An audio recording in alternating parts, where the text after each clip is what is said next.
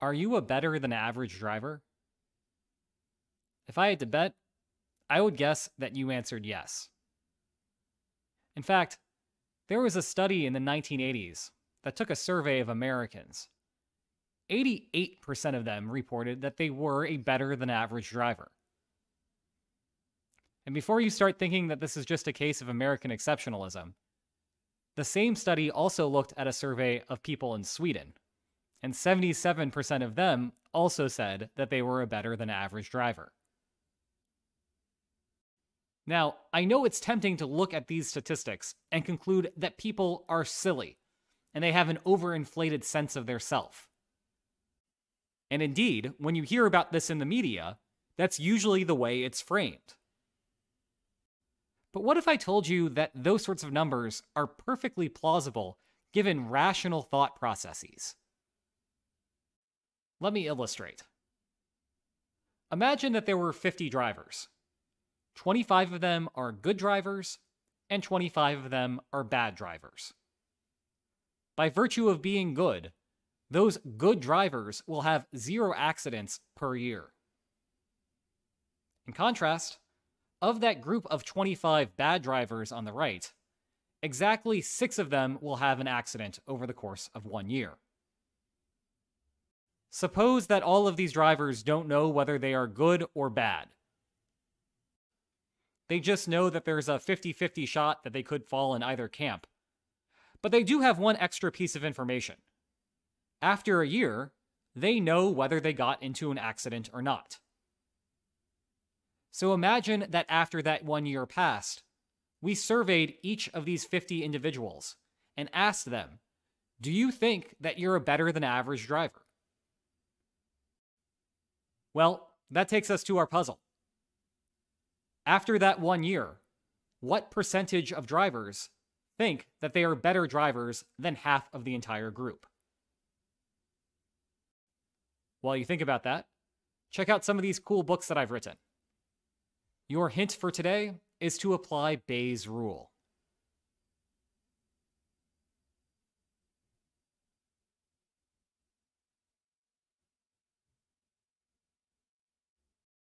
Are you ready for the solution? Part of this is straightforward. Six of those individuals are going to get into accidents. The only way to get into an accident is to be a bad driver. As a result, we know exactly what each of those people is going to report when they take this survey. They are going to be bad drivers, and we don't have to think about them again. Now think about what's going on in the minds of the remaining individuals. They don't directly observe whether they are good drivers or bad drivers. They're in the dark. But even though they did not get into an accident, they have new information. They were safe over the course of an entire year. And they can use that information to update their beliefs about whether they are good or bad drivers. In particular, there is a 50% chance that they started out as a good driver. And conditional on that, there is a 100% chance that they would not have gotten into an accident. Meanwhile, there is also a 50% chance that they are a bad driver, and conditional on that, there would have been a 76% chance of having no accident over the course of that year. Each of these individuals can use those probabilities to calculate their posterior belief that they are a good driver. Specifically, that figure is 0.5 times 1 divided by 0.5 times 1 plus 0.5 times 0.76. In the numerator, we have the probability that the individual is a good driver multiplied by the 100% chance that they are not in an accident. The denominator captures the total probability of not getting into an accident. That's 50% of the time having been a good driver and guaranteed safety, plus 50% of the time being a bad driver and still getting lucky that 76% of the time. If you work out what that probability is, it's about 56.8%. Thus, when asked whether they think that they are a good driver or a bad driver, The rational bet is to say that they are a good driver.